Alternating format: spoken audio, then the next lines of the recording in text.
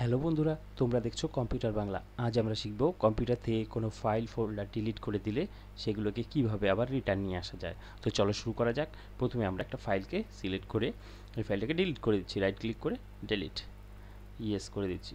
Automatic delete হয়ে গেল। ঠিক একইভাবে আমরা একটা ফোল্ডারকে ডিলিট করব।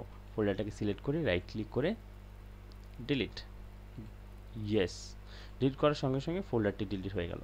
তো আমরা হয়তো ভাবতে পারি কম্পিউটার থেকে কোনো ফাইল বা ফোল্ডার ডিলিট করে দিলে হয়তো কম্পিউটার থেকে সেগুলো পাকাপাকিভাবে ডিলিট হয়ে যায়।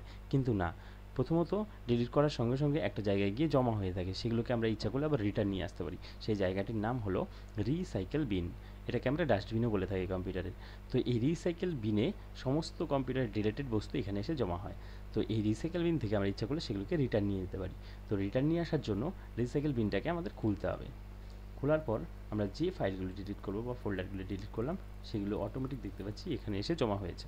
তো এখান থেকে আমরা পুনরায় আবার রিটার্ন নিয়ে যেতে পারি। তো কীভাবে? যে ফাইলটা বা ফোল্ডারটাকে নিয়ে যাব, সেটার উপর মাউস দিয়ে রাইট ক্লিক করতে হবে রিস্টোর রিস্টোর করার সঙ্গে সঙ্গে ফোল্ডারটি চলে আসলো জায়গা মতো। ঠিক একইভাবে এই ফাইলটির উপর রাইট ক্লিক রিস্টোর রিস্টোর করার সঙ্গে সঙ্গে চলে আসলো।